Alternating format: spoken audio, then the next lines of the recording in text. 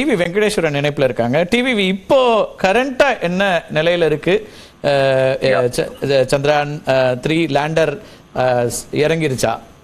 TV okay இறங்கியாச்சு. இறங்கி அது வந்து ரிட்டர்ன் சிக்னல் அமைச்சாச்சு. எஸ் நான் இறங்கிட்டேங்கிற அதாவது டச் டவுனோட சிக்னல் அப்பவே வந்துருக்கு. எஸ் பட் அதுக்கப்புறம் இறங்கி அதனுடைய ஹெல்த் எல்லாம் சரியா இருக்கு அங்கேருந்து ரிட்டர்ன் கம்யூனிகேஷன் வரணும்.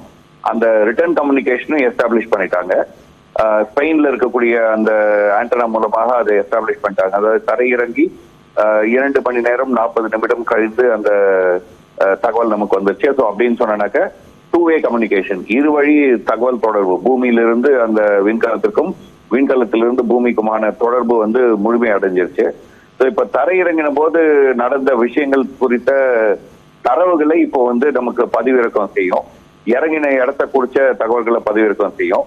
ஒரு சின்ன இப்பதான் வாட்ஸ்அப்ல வந்து இருக்கக்கூடிய நிலவின் பரப்பை நான் உங்களுக்கு வந்து அந்த இமேஜ் அமைச்சிருக்கேன் அதுதான் நம்ம காட்சிகள்ல பார்த்துட்டு இருக்கோம் சார் திரையில இருக்கு இப்ப நீங்க அனுப்பிச்ச அந்த விஷுவல்ஸை நம்ம பார்த்துட்டு இருக்கோம். எஸ் மூணு right very good yes so அதான் இப்போ வந்து அந்த விஷுவல்ஸ் எல்லாமே வந்துருச்சு. இன்னும் கொஞ்ச நேரத்துல அதாவது ஒரு பதினோரு பத்து பதினோரு மணி அளவுல ரோவர் வெளில வந்து அதனுடைய படமும் வெளில வரும்.